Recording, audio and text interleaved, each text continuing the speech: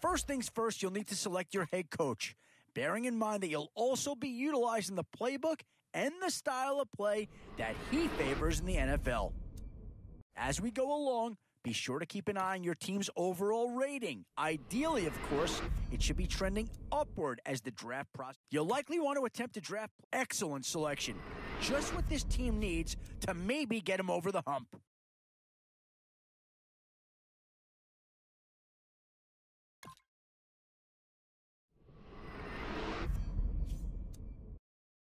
Oh, a tough decision on their hands now.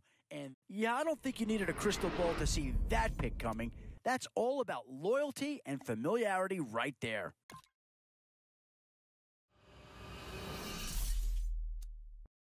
So, with a handful of starters already nailed down, you have to ask yourself do you dare go for depth or do you just try to definitely some options with this pick? Do you take a skill player here or get yourself some help up front? We've seen Dallas represented once already. Could another Cowboy be joining the fold? Hmm, how about that threesome? How do you throw two of those guys away?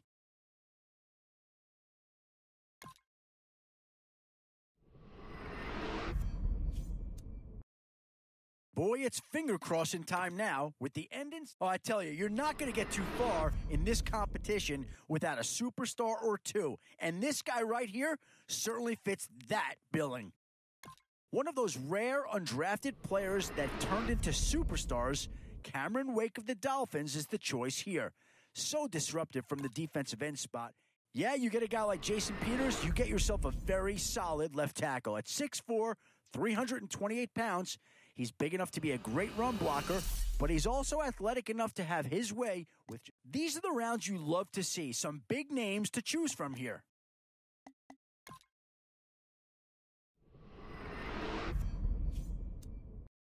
Always a tough decision, offense or defense. It's all about finding the right balance when you're putting a team together. Give kudos to the folks running this draft. They've targeted the guys they thought would provide the maximum value, and so far, it's been successful.